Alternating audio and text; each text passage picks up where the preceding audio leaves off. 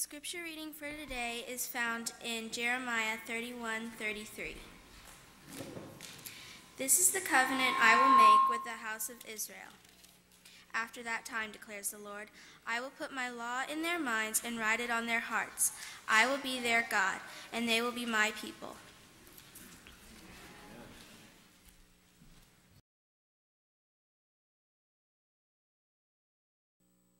Good morning, church.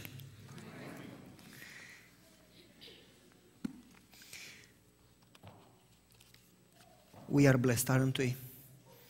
We have a wonderful God who loved us so much that he gave his own son for us. We are here in the sanctuary worshiping him, and remember, we are here to worship him. And God has plans for us. God called us not just to help us once in a while when we go through a need, but actually to use us, save precious souls for heaven, and then to spend eternity with Him. That's more than we can comprehend. But we can start praising Him even now, because God is worthy of our praises. I want to remind you again there will be Bible study requests coming up. Be part of it. You will be blessed the church will become more and more alive. The church will grow spiritually and numerically. Be part of the Bible studies, pick up a DVD with the training, ask questions if you have questions. I want to remind you about tonight, Vespers. Be there, don't miss it. If you miss it, you'll be in trouble. Before we start our uh, message today, let's bow our heads and pray. Father, what can we, what can I say that would make any difference?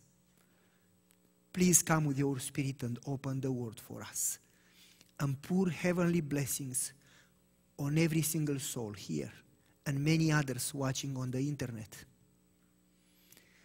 May you be the center and may it all be for your honor. We pray in Jesus' name. Amen. We started some time ago to talk about the 10 promises. And we said, and you already learned by now because I have repeated so many times, that the Ten Commandments are ten promises. And they are God's covenant. There is no difference between the old and the new covenant. In Exodus 32, 33, 34, it doesn't say, I give you a new covenant because the old one is not good. It says the old covenant renewed. The same one. In fact, Moses didn't come with new commandments, he brought the same ten. God didn't change uh, iota, God didn't change anything. God doesn't change. Except that people didn't understand that the covenant is not based on us, it's based on God. Because God said, I will go before you. I'll give you a country that doesn't belong to you. I'll give you victories over armies that are greater than you. I'll give you gardens that you never worked. That would be fun for me. But it doesn't happen now. I'll give you homes that you didn't build. I'll give you a new heart. I will put these words in your hearts. And this is not because you deserve it. This is not because you did something. You are a stubborn nation. This is because I love you. You are my children. On one condition, let me be your God. Would you? Would you let me be the single one in your heart? Number one, number two, number 10, number 20, everything. Would you let me be your God? If you do that, I will do all these things for you, cost free. That was the covenant. Israel didn't get it. They said, We will do all that God said. And they failed in a short time. So God came back to them and said, You are a stubborn nation. You cannot do it. How can you do it? With your human sinful nature. So, this is the covenant. Let me repeat it again. I will do it for you. Just let me be your God.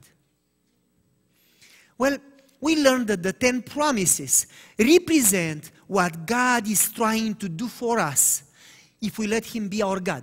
Therefore, the order is not by chance. He could have said, Let's the fourth be the first. No. The first commandment or promise is the first because it's foundational, is the basis for all the others. I am your God who delivered you. Don't have other gods. If this one is followed, we should not have problems with the others. Because if He is our God, He will do the other things for us. If not, we could struggle forever. It will never happen. We'll just paint the exterior. Inside, stinky dead. So, therefore, the first promise should be the first because the others build on and it's conditional for the others to follow the first. And we said that the Ten Commandments start from verse 2. And that's a chorus, a refrain to the others that comes before and after every commandment. I am your God who delivered you. Don't have other gods. But it's a conditional in Hebrew. If I am your God who delivers you. And he doesn't say, don't have other gods. It's not negative, it's positive. If I am your God, if you allow me, if you want, if you allow me to be your God, I promise I'm going to work on you. You will not have other gods. And then it repeats again. If you allow me to be your God, you know what? You will not have all that, those idols. And if you allow me to be your God, you'll not take God's name in vain. And if you allow me to be your God, you'll keep the Sabbath, and so on. So the second verse comes before and after every commandment. And we said that the Ten Commandments actually were written by God's finger. It came from his palm on precious stone back and forth, both sides, so they could be seen from every direction. Now, as we said that, we went through the all nine promises. We said they are, they are all positive, they are all promises. Well, we got to the tenth one, and we have two more to go.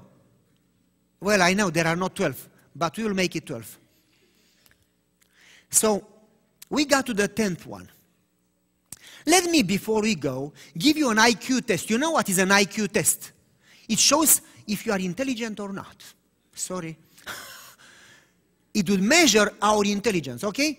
So listen carefully. Are you ready? Huh? Okay.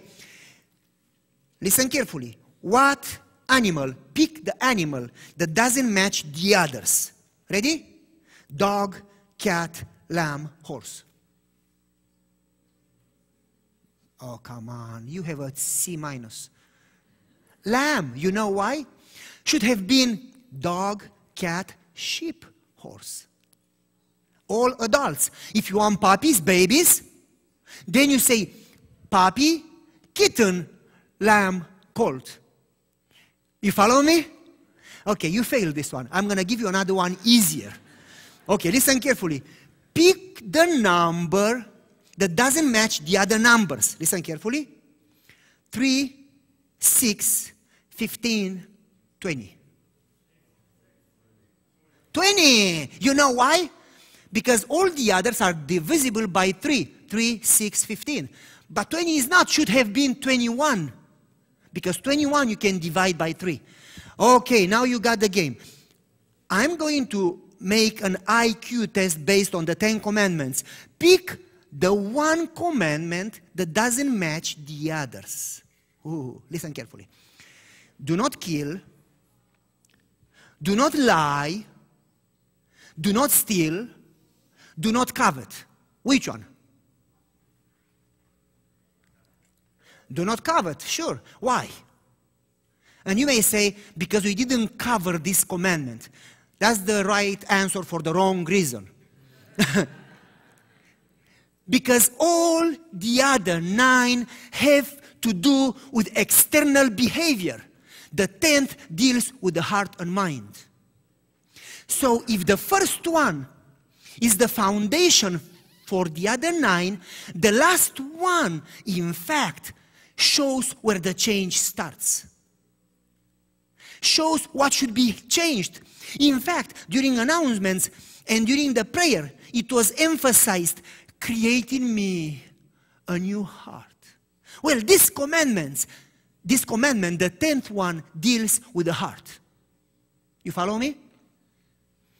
Because we can improve behavior. We can control ourselves to a certain extent. Nevertheless, if the heart is not changed, nothing has changed. You follow me? So, let's move a little forward and try to explore the tenth promise. The Hebrew word do not covet. In fact, it says, if you allow me to be your God, you will not covet. You shall not covet, I promise you. So the Hebrew word is shamad. Shamad in translation in English means to desire or to delight in something. Tell me, is it wrong to desire or to delight? No. In fact, the Bible says in Isaiah 53 that he had no beauty, so we didn't desire him. But in Hebrew is we didn't covet him.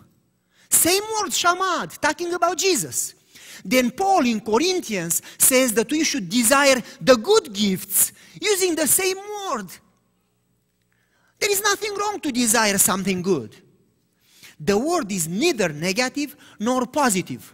The word is not good, it's not bad, it's just neutral. The context makes it good or bad. It depends what you desire. You see, you can go to your neighbor and say, Man, I love your house. You have a nice, nice house. So far, so good. And then you say, Would you teach me how you did it? Would you show me the blueprints? I want to build myself one the same. That's okay. But you can go to your neighbor, see the house, and say in your mind, I'm going to get it, no matter what. I'll find a way. I'm going to get his house. That's wrong. You look to your neighbor and you say, Man, you have a nice family. You and your spouse, you get along so nice. You can say, When I get married, I would love to have this type of relationship with my spouse. That's okay. Or you can say, You know what? I want your spouse. If I had yours instead of mine, it would be, I would be better off. That's wrong. So, what is wrong about desire, shamad, is not that you desire,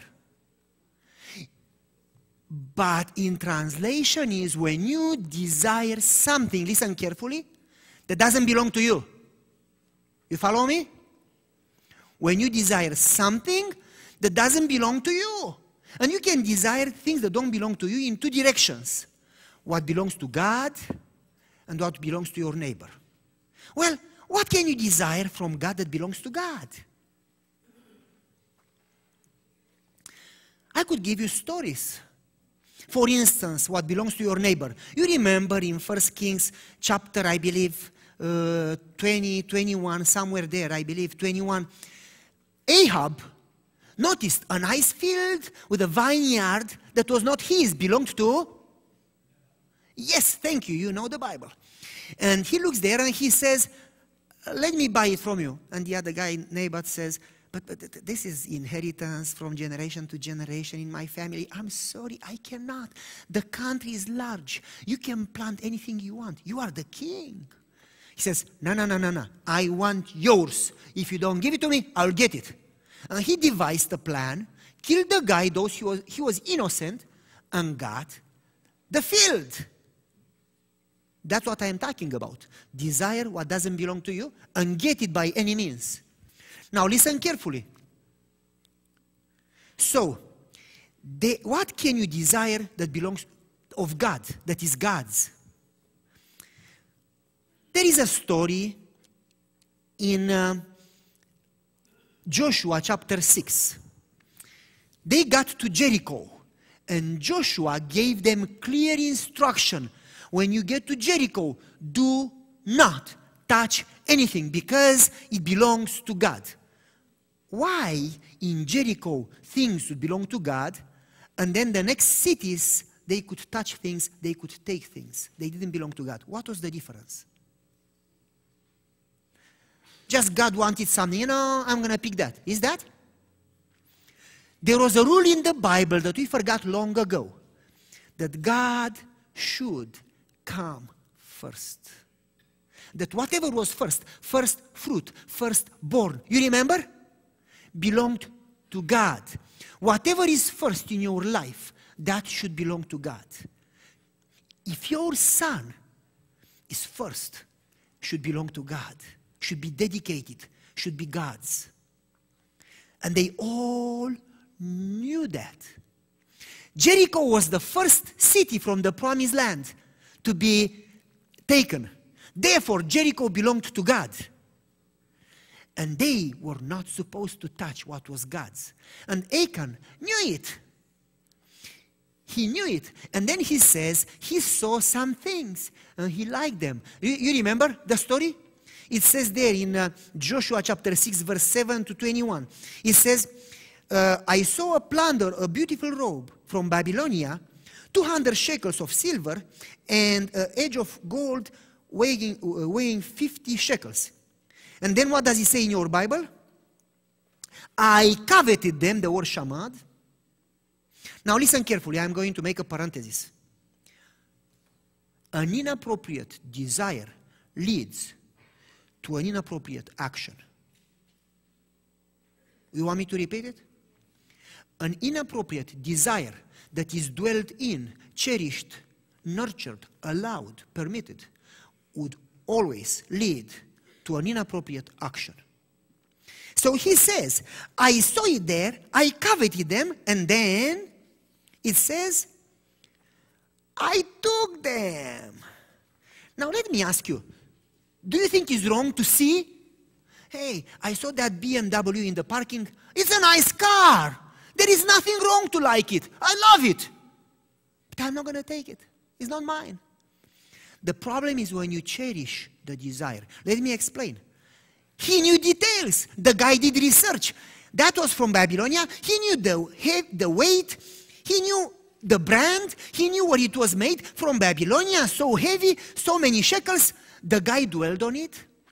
He contemplated, he cherished, he nurtured, he planned. When you start dwelling, you see it. My father had a word. I would say, What should I do if I see it? And my father said, Well, there are many birds flying over your head. The problem is not that they fly, the problem is if you allow them to make a nest on your head. You follow me? You see it. Good for them. They are there. Move on. That's what Jesus said. You see it. Don't even look after. Turn your head. Turn your mind. You remember? It's not yours. Don't let it make a nest on your head. So he saw it and he then started to contemplate. And he started to cherish it. And he started to nurture it and to feed it and to plan it and to do research. And it led to sin. And 36 innocent people died. Think about their families, their children, their wives. And Achan and his family died. That's where inappropriate desire would lead. And you know why? Very simple. Because God should be first. And when we covet, guess who is first? I want it, I like it, I take it. Who is first? I. I am the God of myself. That's what Satan did, didn't he? So, there is nothing wrong to desire something. Don't get me wrong. You see a field, you see a house, you go home and start saving. There is a for sale sign.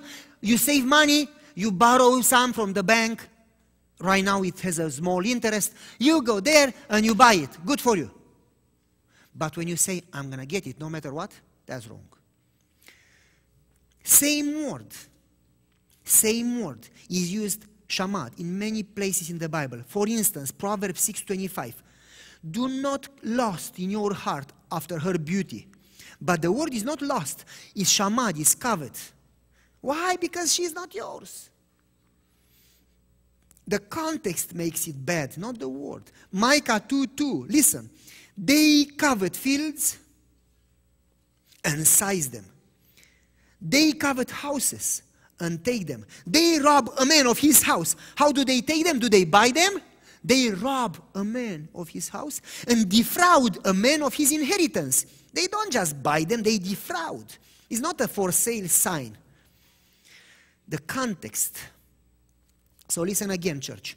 An inappropriate desire cherished leads to an inappropriate action. That's the reason the Ten Commandments, the Ten Promises is so important. Because if you cherish a wrong desire long enough, it will surely lead to sin. The other nine commandments have to deal with external behavior. The Ten Commandment deals with the heart, the mind, the passions, the reasons, the thoughts. People judge us for our actions. Nine commandments. God looks to the heart. Reasons, motives, passion, thoughts. Nobody would know what I think right now about you or about you. God knows. You cannot judge me for what I think. God does. Because that's where the spring is. That's where sin starts. It starts growing, and then when you do it, it's already too late. That's what should be changed. We work on external behavior. God wants us to have a new heart. The tenth is what leads to the breaking of the other nine. Let me explain a little. If sin is at the center, if self is at the center, then we break the commandments. Then we break the relationship with God and the relationship with the neighbor. And let me explain. The relationships we have with the people and with God show who we are. Oh, we can say we are good Christians. We can pretend forever that we love God. Doesn't make any difference. Relationships show our true spiritual state. That's who we are. Now, if God is at the center, that's righteousness. Then it comes love that springs spontaneously in good deeds without any effort. That's when we shine his character. In fact, Paul says, Christ in you, the hope of glory, when he is at the center of our heart. Therefore, we should not even try to change our behavior. And you say, Pastor, you lost your mind. We should try. No. We should plead. Didn't Jacob try all his life to change his behavior? Did he really manage? Therefore, we should plead with God, like David, create in me. And it's not about fixing our broken heart. We don't talk about a fixing heart surgery. We talk about transplant heart surgery. It takes a miracle of creation where God has to create us like in the beginning again. It says, create in me, not fix in me, a new heart because God, not even God, can fix our broken hearts. God has to kill our old nature. You cannot build a new life on the foundation of the old life. You cannot build a new life on the old nature. The old nature has to die. That's what Paul says in Corinthians. I die daily. You remember? I have been crucified with Christ in Galatians chapter 2. 5, I'm sorry, 520. I've been crucified with Christ and I no longer live. Christ lives in me. Therefore, church, we should die daily. You may try forever to change. You will fail miserably. Before we die and before Christ is born in us, and before He would do the miracle of a new creation, and He would create in us a new heart and give us a new spirit, we will never be victorious. But the good news is that He promised to do that. The bad news is that we never get it. We try to do it ourselves instead of surrendering, instead of allowing Him to do it. Jeremiah 31, verse 33. I promise, says in Hebrew, I will give you a new heart. I will take your heart that is hard out, and I'll give you a new heart that is soft and loving. I'll pour my love in your hearts. That's a promise. Isn't that nice? There is a quotation in the spirit of prophecy that says the actual life of Christ would be in us Listen, do, do, do you hear what, uh, what she says? The actual life of Christ would be in us. We would actually live his life the way he lived it. When we allow him to give us a new heart. When we die to self. Paul got it.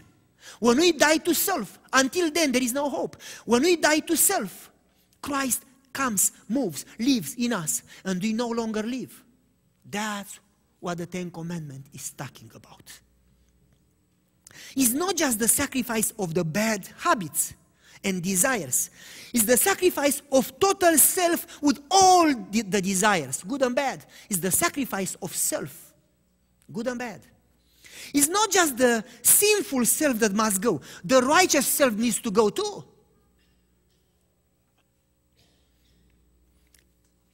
Listen, self is the enemy we need to fear most. No form of vice has more malignant effect upon the character of the Christians than the self righteous that is not crucified and not under the control of the Holy Spirit. When self is submerged in Christ and Christ is in control, true love would spring spontaneously. Surrendering self to God is what He requires and nothing else. Ministry of Healing, page 485. Self needs to die. That's the Ten Commandment. That's the Ten Promise. So let's move on here a little. Paul got it. He says, Listen, I think I am doing pretty well. I keep Sabbath, I don't kill, I don't steal, I, I, I am doing pretty well. But then in Romans chapter 7, he gets to verse 7 and 8. And he gets to the Ten Commandments and says, I'm in trouble. Why? Because I have to deal with the desires, not the acts, not what I do, but the mind. I am in trouble because I don't do what I want to do. I, I do what I don't want to do. And what should I do? I hate it because my mind is sick, my heart is sick. I can control myself to a certain extent, but I cannot change my mind. And Paul says, What a wretched man I am! Who will deliver me? You remember? Well, if Paul says that, we need that. We should say the same. What a wretched man I am. Who will deliver me? Well, church, you know what word he uses there? Where he says desires? He doesn't use the Hebrew shamad. He uses the Greek epithumia. That we have the English word epidemia, epidemic. That's epidemic. That's a disease. It's contagious and it multiplies. That's the reason Psalm 139 says, Oh Lord, you know my desires. You know my thoughts. You know when I sit down, when I rise. You know my heart. You know my ways. We may be able to fool people. You know, at times we can even fool ourselves. But we cannot fool God. He knows our hearts. He knows our motives. He knows our thoughts. He knows our reasons. He knows and nobody knows what we think. And He is judging that. So, church, if I stopped here, you would be depressed for the rest of the week. But praise the Lord, Paul didn't stop here, so I don't stop here either. So Paul moves from this dilemma and he says, You know, I thought I was doing pretty well with the external, but I got to the Ten Commandment that deals with the heart and the mind, and I, I am a wretched man. I know that the law is spiritual and good, there is nothing wrong with the law, but I am slave to sin, he says. And he gets to verse 15. Verse 15. He says, I hate what I do. And then listen carefully. Who will rescue me from this body of death? Verse 25. Thanks be to God through Jesus Christ our Lord. Thanks be to God. Why? There is hope, church. There is hope. There is hope. Listen carefully. This is where the hope comes in. How is hope coming to you? When the culture says Madison Avenue and the mall and the Hollywood and you know all of them the internet bombarding us to lust after things to lust after people. How is hope coming to you? Who is going to deliver you and me? This is god's promise for you today. 2 corinthians 5.17 if anyone is in christ he is what? A fixed old creation or a new creation altogether? Well, the word, this is chiastic structure in, in Greek. The most important word is put right in the middle of the sentence. You know what word is in the middle of the sentence? If anyone is in Christ, he is a new creation.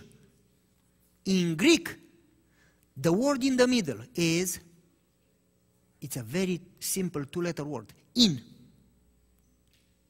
I was shocked. I saw chiastic structure. I said, Christ should be in the middle now. And it was not. The word that was the center of the sentence, the most important, the key, was in. If anyone is in, not besides, not about, in Christ, then he is promise, a new creation. Therefore, in John 15, Jesus says, Without me, lost. In me, no problem. Because there is no other name. Because Christ in you, the hope of glory. Do you follow me, church? This is, this should be our prayer. Would you please kill my heart? Would you please kill self in me? Take it out. Would you please give me a new heart? And would you please move in me? And just live in me and just control me and let me die daily. Because this is the key that should be our daily prayer. And this is our single hope Christ in you, the hope of glory. Therefore, we need, church, to remind ourselves daily number one, that we should die daily. Number two, that Christ should live in us, should dwell, should move there and live there permanently. Second, not just day by day, second by second. That's the key. And now listen carefully. Every time we forget, we need to remind ourselves that happens not because we deserve. We may be wretched, but because He loves us. Therefore, don't look for merits, look for Christ. You follow me? As long as you look for merits, you will still struggle. Look for Christ because when you find Him as you are, you get a gift, a new heart. Isn't that nice? Say it with me. In Christ, I am a new creation. Would you say it? In Christ, I am a new creation. I am a, I am a child of the King. Isn't that nice? Well, without Christ, I am nothing. But in Christ, I am a new. He gives me a new heart, a new mind, a new spirit, a new life, a new nature. In fact, He lives in me. And because He lives, I will live.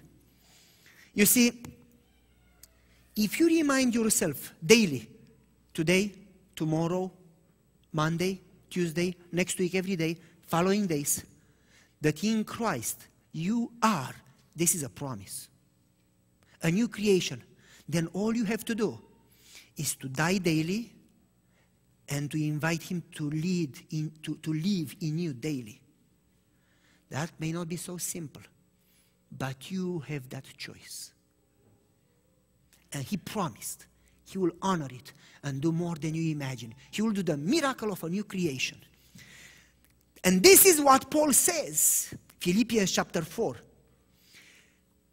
It brings him a godly contentment.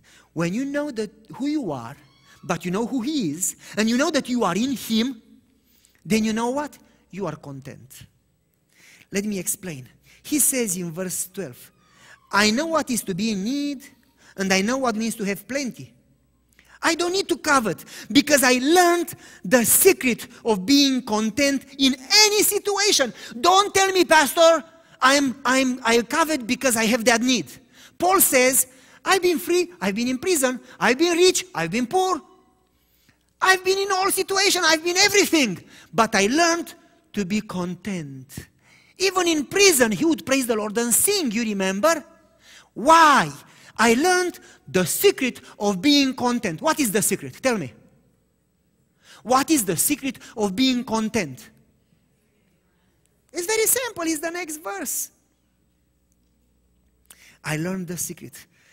It says, Because I can do all, how many? Things through Christ who strengthens me. This is the secret. Christ in you, the hope of glory. He is in you. You can do all things. There is nothing impossible. Because He can do it, He is God. He does whatever He wants. He wants to do it. So, church, you remember the old song? This world is not my home. I am just passing through. Open your bulletins, first page, back of the first page, and you'll see it there. My treasures are laid up where? Somewhere beyond. Did, did you open your bulletins? You found the song? The back of the first page? Sing it with me. Would you? This world is not my home, I am just passing through. My treasures are laid up somewhere beyond the blue. The angels beckon me from heaven open door, and I can't feel at home in this world anymore. Oh Lord, you know I have no friend like you. If heaven's not my home, then Lord, what will I do? The angels beckon me from heaven's open, and I can't feel at home in this world anymore. Thank you. When you know that Christ is in you, you are satisfied. You don't covet. It's sufficient. You don't need anything because in Christ you have all you need. You don't even focus on what you need because your identity is not given by your house or your car or your education or your titles. You are not who you are because of those. You are who you are because of Christ in you. Your identity is based on Christ, not based on what you accomplish. Therefore, you are satisfied. That's what Paul says. I am content.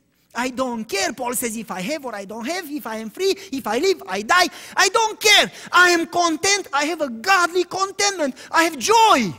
I have peace. Why? I can do all things in Christ because He lives right here. And I am not even focusing on those things. I don't care. I am focusing on those things. I am not living here anymore. I may be here, but I live there. That's who we are, church. Never forget that we are in transit here. If we live for this and here, we are miserable. I'm content.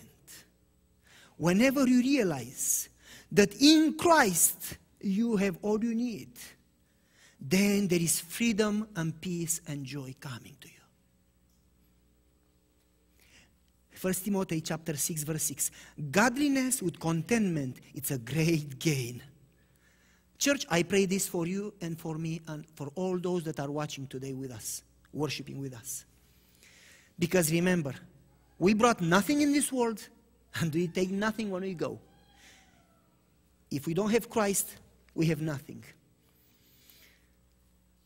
I'm not saying that it's holy to be poor. Abraham was rich. I would love to be rich. there are rich people that are spiritual people.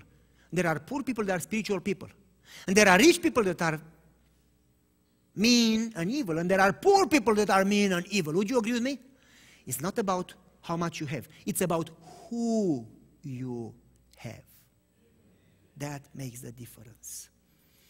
So, if I live in a tent, that would be nice for just a weekend. Or if I live in a mansion by the lake with a big boat, I'm happy either way, or I hope. if you get a job, you say, Praise the Lord. I got a new job. I'm going to praise the Lord and I'm going to use it for His glory.